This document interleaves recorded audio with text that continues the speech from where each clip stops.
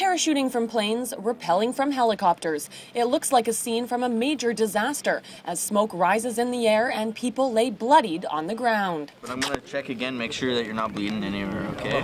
But it's not. It's the Royal Canadian Air Force and 442 Transport and Rescue Squadron conducting a search and rescue training exercise. We're running a, a, little exercise here. We've got 14 casualties uh, that have just been in a plane crash, simulated plane crash, and uh, two SAR techs have just been parachuted in, and they're working right away on some of the uh, casualties. RCAF averages 1,100 missions a year within Canada.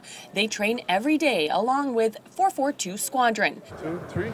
And this week long exercise will be the first time this year members have trained outside of the Comox area.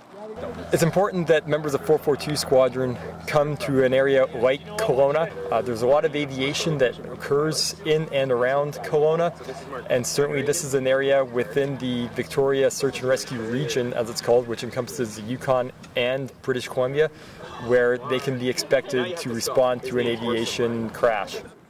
The exercise will also serve as a training opportunity for local emergency crews in the Okanagan, as well as the Kelowna International Airport, where the event takes place. People that are involved here, the fire department, the, the police, the ambulance, uh, have never worked with us before. We've never worked with them, and, and so we're learning. And when it's done, we'll have a good chat about how everything went, and uh, and hopefully everybody walks away with a lot more knowledge. A good scenario for our guys. Uh, very, um, the process happens very quickly.